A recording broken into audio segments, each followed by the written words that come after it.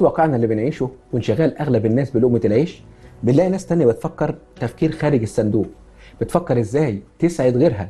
فيطرقون الأبواب ليستيقظ الجميع ويلبون النداء وتختفي الآه حين تظهر نبض الحياة.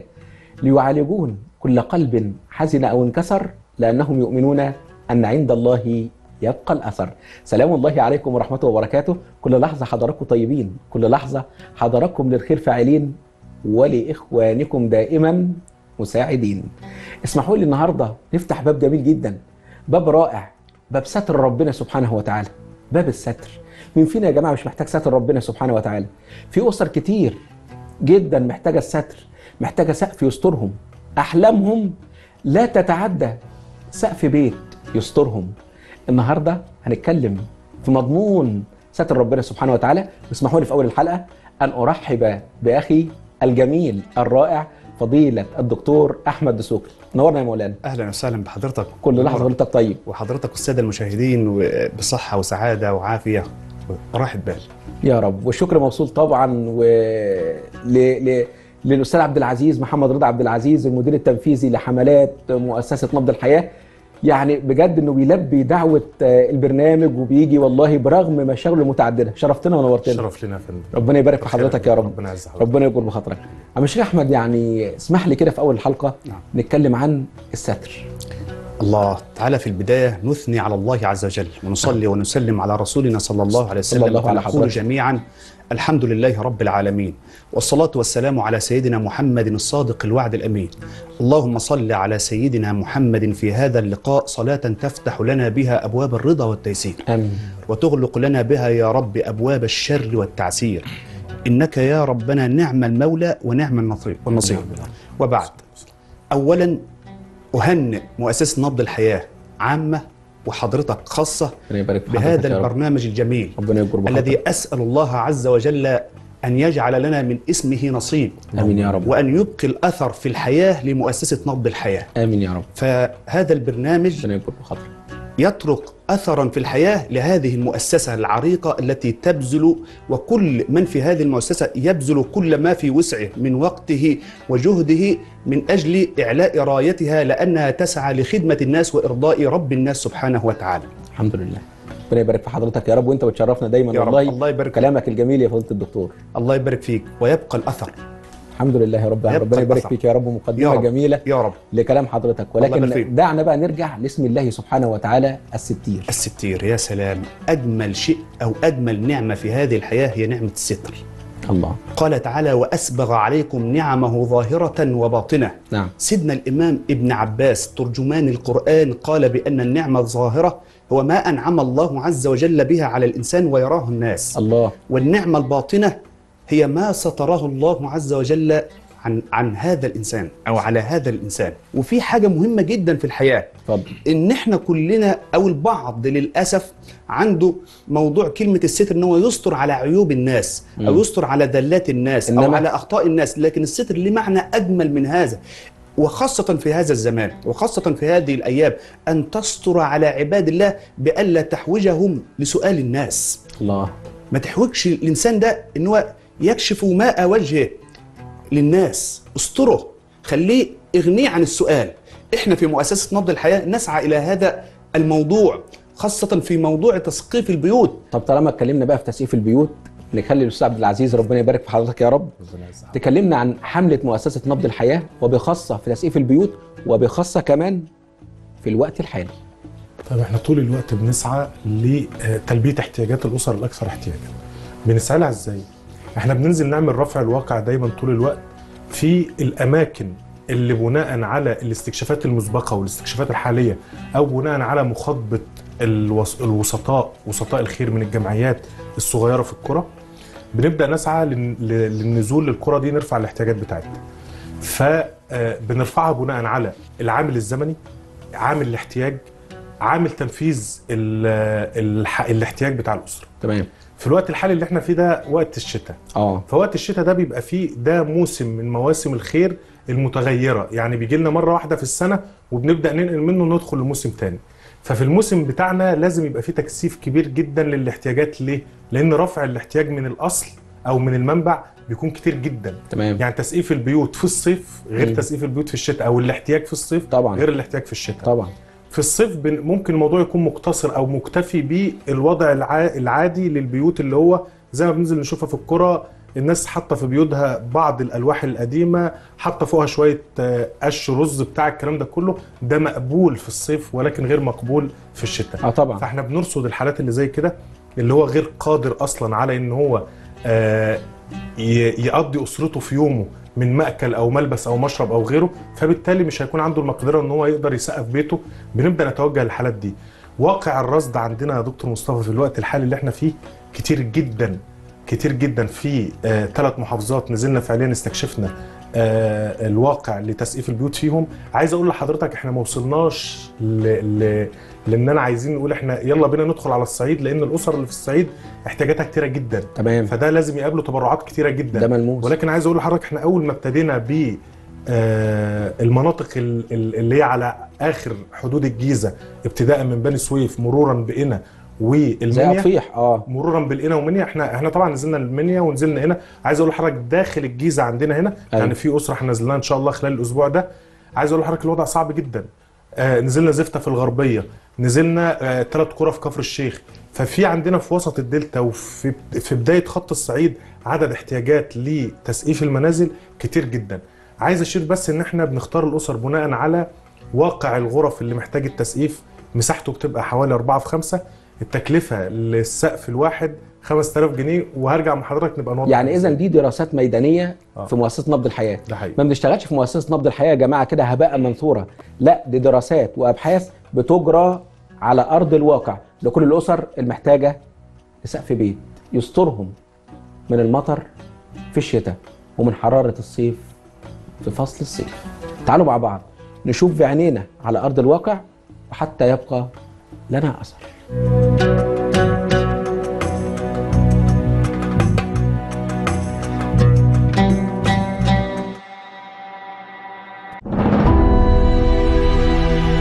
في عرب الأشرفية مركز أطفيح محافظة الجيزة. محمد رب أسرة مع أربع أطفال. احتياجاته ومكان معيشته وكل حياته محتاجة إن يتبص لها ويتعمل لها إعادة تأهيل من أول وجديد. هندخل مع بعض نشوف؟ كله تمام؟ الحمد لله. قول لي. الحمد لله. لسه بصيت على البيت ما لقيتش البيت فيه حاجة خالص. والسقف ما فيش سقف. ربنا يبارك لك في أولادك وإحنا معاك. وفي أقل من أسبوعين بإذن الله نكون بنزورك زيارة تانية. ماشي. وإن شاء الله نعمل لك السقف ونعمل لك وصلة المية ونشوف النواقص اللي في البيت بإذن الله ونكملها. ماشي. وادعي لاهل الخير. ربنا يبارك فيه ربنا ويزيده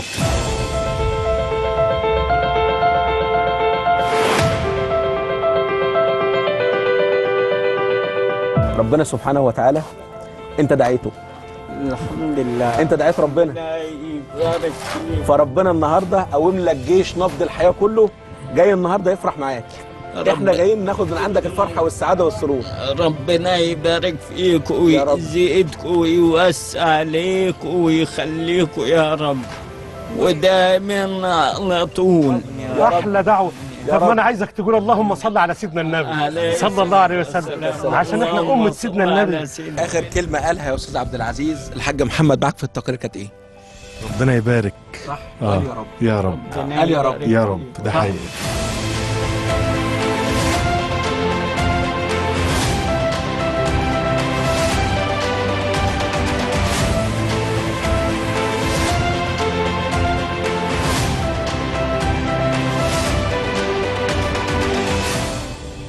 أنا أشكرهم وربنا يوسع عليهم ويزيدهم ويبارك فيهم دائما يا رب.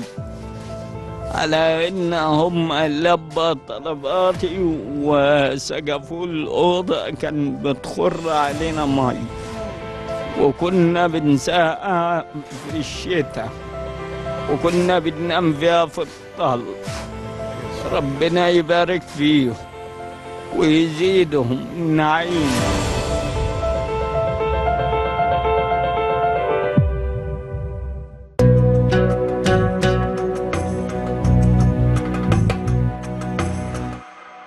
ادي حضراتكم شفتوا التقرير معانا.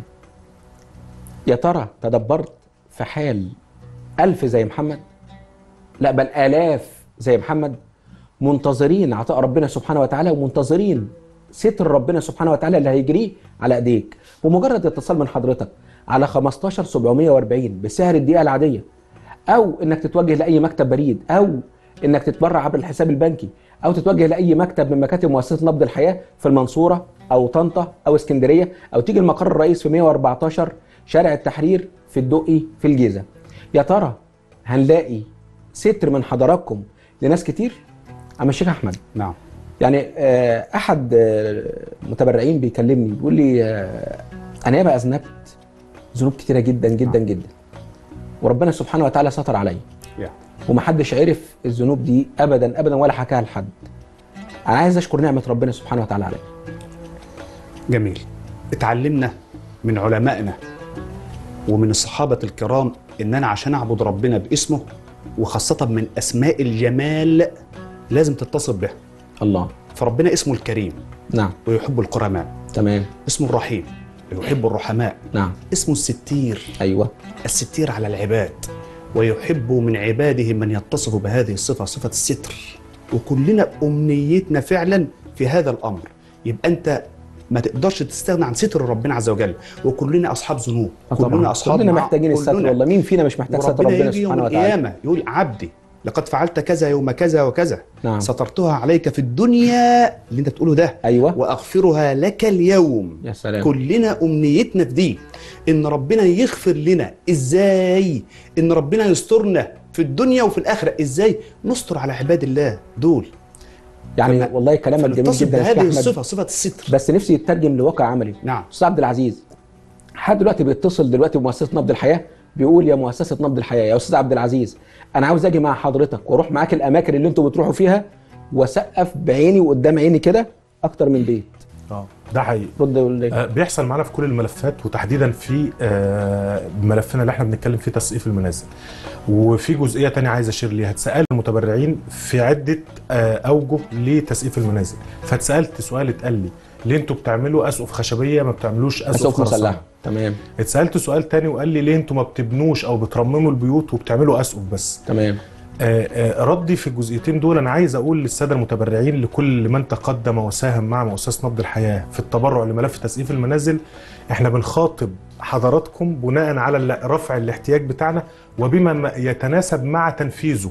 يعني لما أجي أقول لحضرتك أنا عايز أنفذ سقف 4 في 5 في خمسة تكلفته 60000 جنيه غير لما أقول لحضرتك أنا عايز انفذ سقف 4 في 5 تكلفته 5000 جنيه. تمام. فبدل ما أقدر أسقف بيت لأسرة واحدة أقدر أسقف بيت لخمس أو ست أو أو 10 بيوت. ده جه ده ده دي جزئية. حلو. بالإضافة إلى إن الحالة نفسها اللي بننزل من أهالينا الأكثر احتياجا اللي بننزل ننفذ لها السقف بتاعها بيكون احتياجه جزئي مش كلي. بمعنى إن هو يستخدم الأوضة دي للستر عايز يقعد تحتها هو واولاده لكن مش هيبني فوقها فيحتاج إن إحنا نعمل له بشكل خرساني فلازم تتعامل بشكل خرساني. لا من ضمن المعايير بتاعتنا في الاستكشاف إن هو يكون استخدامه ليها خلال 15 سنة وبيكون في الغالب بيكون عنده أطفال. دي جزئية. تمام. الجزئية الثانية في إشارة بسيطة. اتفضل. ليه ما بنرممش البيوت أيوة. بشكل كامل؟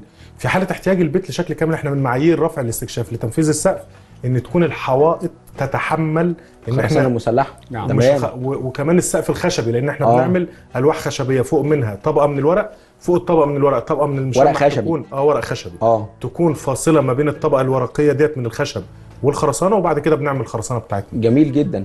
يعني حضرتك بتراعي كل الجوانب. آه طبعا أكيد. تمام. شفتوا يا جماعة؟ شفتوا مؤسسة نبض الحياة شغالة إزاي؟ بس كل اللي عليك إنك تتصل دلوقتي حالا.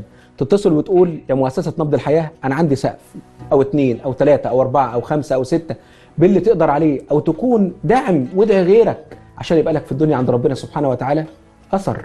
وتلاقيه يوم القيامة عند الله عز وجل. ربنا يقول لك سترتها عليك في الدنيا وأنا الآن أسترها عليك في الآخرة. فاصل وأنا واصل ألو مؤسسة نبض الحياة. عايز اتبرع نفسي اساعد الست دي نبض سقف الحياة. البيت ده عليا. كنت عايز وأنا اللي اشارك في. محطة تحلية ممكن الميه أسأل على سك النخله يا رب اجعله في ميزان عايزين. نشارك في حملة إطعام الطعام. كلما زدنا في الخير يبقى الأثر يبقى الأثر.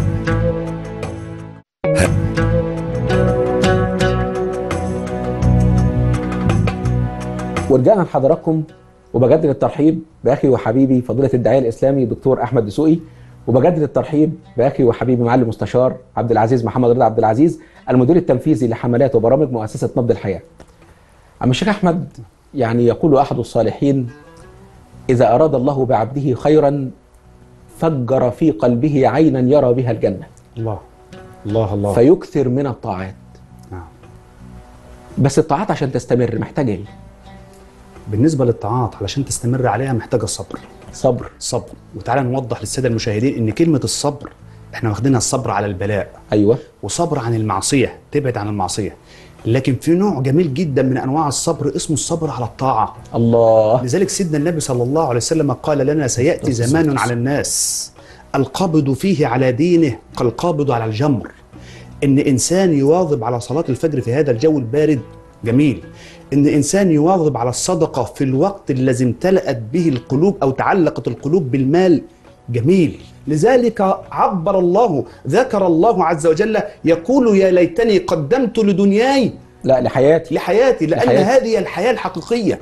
الحياة الحقيقية. وهذه الحياة الحقيقية اللي هي الحياة الآخرة ستحصد فيها ما زرعته فين؟ في الدنيا. ويبقى الأثر. جميل جدا. أستاذ عبد العزيز هاخد برضه من كلام سيدنا الشيخ أحمد يقول يا ليتني قدمت لحياتي. طب أنا عايز حياتي عند ربنا سبحانه وتعالى تبقى جميلة جدا تبقى صافية تبقى نقية أبقى مستور عند ربنا سبحانه وتعالى. مش لازم برضه أهيئ لأهالينا الطيبين. حياة طيبة. طبعا. أنا عايز أقول لحضرتك إن من من ضمن الحاجات اللي ربنا سبحانه وتعالى تفضل علينا بيها إن جعلنا في هذا العمل. الله. يعني ربنا سبحانه وتعالى من علينا وكتب لنا الخير في إن إحنا نكون ايادي المنفقين في تنفي- تنفيذ آه، إنفاقهم للأسر الأولى بالرعاية. ولكن عايز أقول لحضرتك حاجة. اتفضل.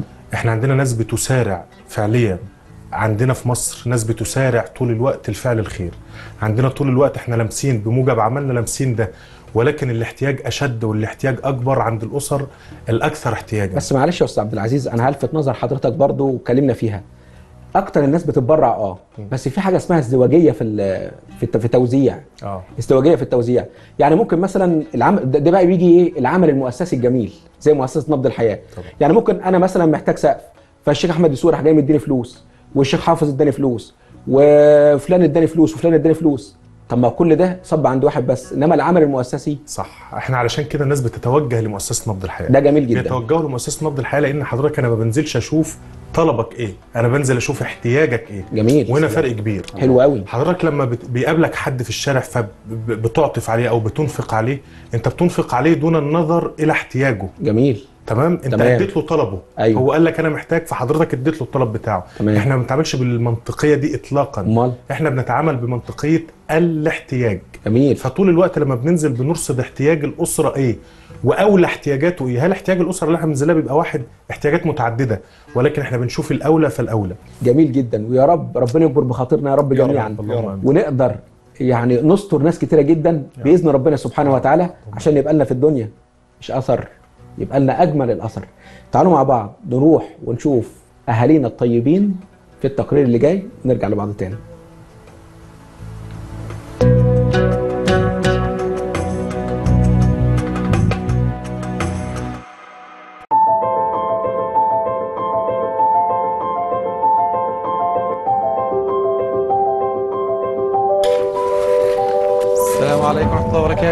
ازيكم يا رجالة. أخبار؟ النهاردة بقى إحنا في بني زايد مركز ناصر محافظة بني سويف. في رحلة جديدة من رحلات عمل الخير اللي إحنا متعودين مع حضراتكم إن إحنا ننقلها لكم خطوة بخطوة ودقيقة بدقيقة ولحظة بلحظة. وإحنا حريصين جدا إن حضراتكم تتفرجوا معانا وتشوفوا معانا كل خطوة بتحصل في البيت. وإحنا النهارده بننقل الحدث ده لأن الحدث دوت ليه وضع خاص شوية. حد من المتبرعين كان موجود معانا في الزيارة اللي فاتت وهو اللي اختار البيوت دي وقال يا جماعة يا ريت البيوت دي تشتغلوا فيها وتعملوا لهم الاس اوف دي مؤسسة نبض الحياة في حملة دفا كانت هنا بالظبط من شهر. وشفنا المعاناة من أم عبده وهي بتحكي مشاكل البيت. مؤسسة نبض الحياة لبت الاستغاثة عدى بالظبط.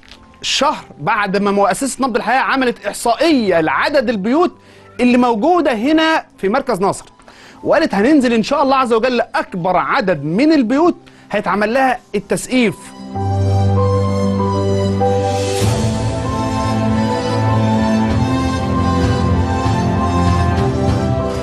علشان كده إحنا كنا حريصين إن إحنا نشتغل في البيوت دي لأن حضراتكم اللي نقيتوها.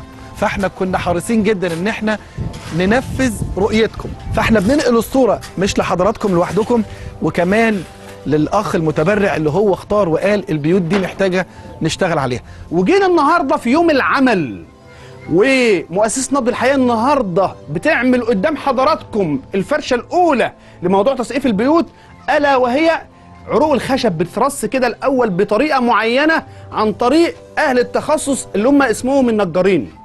بعد كده بتشوف الطبقة الثانية اللي بتحط على المرحلة الأولى ألا وهي طبقة إيه؟ التسليح اللي هو الأسمنت والرمل مع الزلط. إن شاء الله عز وجل بيت ام عبده ده النهارده هيكون متسقف هيكون سكن هيكون طمأنينة هيكون استقرار. وده بفضل ربنا عز وجل.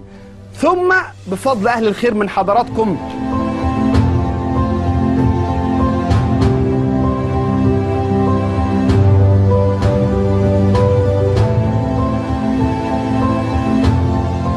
شكرا لمؤسسة نبض الحياة.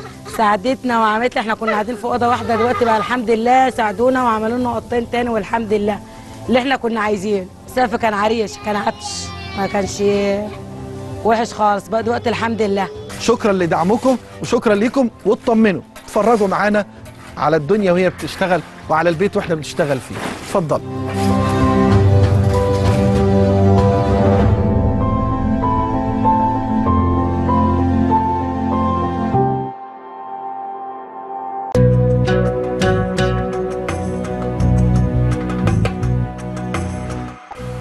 ورجعنا بعد التقرير. كنا التقرير اللي فات فين؟ كنا فين يا شيخ أحمد التقرير اللي فات؟ كنا في عرب الأشرفية. نعم. طب والتقرير ده يا أستاذ عبد العزيز؟ بني سويف. في بني سويف. نعم. أي استغاثة بتجينا لمؤسسة نبض الحياة ونشعر في أي مكان إن أي حد معرض لأي خطر نبض الحياة بتسبق زي البرق اللي بيسبق المطر. بجد والله. الحمد لله رب العالمين ودي نعمة من ربنا سبحانه وتعالى نعم. عم الشيخ أحمد نعم. اللي هيسارع دلوقتي اللي هيسابق دلوقتي اللي هينافس دلوقتي يقول لك أنا عندي بدل السقف اثنين وثلاثه وأربعة وخمسة وستة ثوابه عند ربنا إيه؟ أثر ده عند ربنا سبحانه وتعالى إيه؟ جنة عرضها السماوات والأرض الله كفاية وكفى سلام. بس الإنسان كلمة جنة أصلا لوحدها بتسعد الإنسان. لما يقعد في أرض فيها خضرة وشوية مية ويقعد كده مزاجه حلو يقول لك أنا سعيد. ليه؟ علشان خاطر قاعد في جنة. سلام. تخيل دي جنة الدنيا اللي أنت عاملها بإيدك أو زارعها بإيدك والمية حاططها حواليك يعني متحكم في هذا الأمر. تخيل الجنة التي صنعها الله عز وجل لك وأعدها لك جنة عرضها السماوات والأرض أعدت لمن؟ المتقين. بالله عليك تتخيل أي الناس أحب إلى الله؟ العباد الزهاد ونحن لا نقلل من شأن هذا بل نطالب بذلك. ولكن أحب الناس إلى الله أعلى الناس واللي ربنا بيحبهم. أسأل الله عز وجل أن يجعلنا منهم يحبهم ويحبونه. مين؟ أنفعهم للناس. الله. أستاذ عبد العزيز. الأثر. عبد العزيز نعم. يعني الأثر الجميل اللي قاله الشيخ أحمد الدسوقي ده جميل جدا. نعم. بس رسالة من حضرتك للساده المشاهدين وجمهور مؤسسة نبض الحياة في نهاية البرنامج.